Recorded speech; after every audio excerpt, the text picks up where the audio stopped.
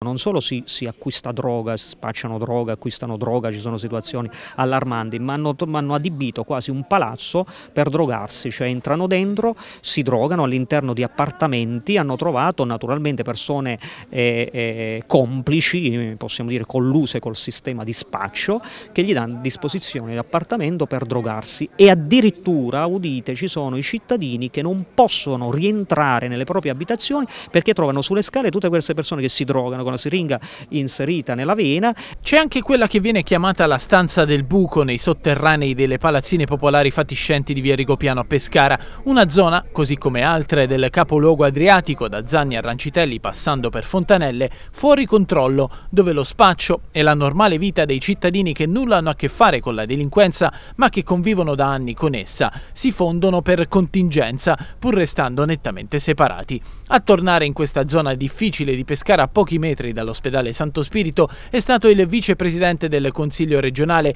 e attivista del Movimento 5 Stelle Domenico Pettinari, che reitera la sua richiesta di più sicurezza ed interventi antiabusivi da parte della Regione Abruzzo, denunciando anche le minacce che gli sono arrivate affinché si spengano i riflettori sui quartieri difficili di Pescara.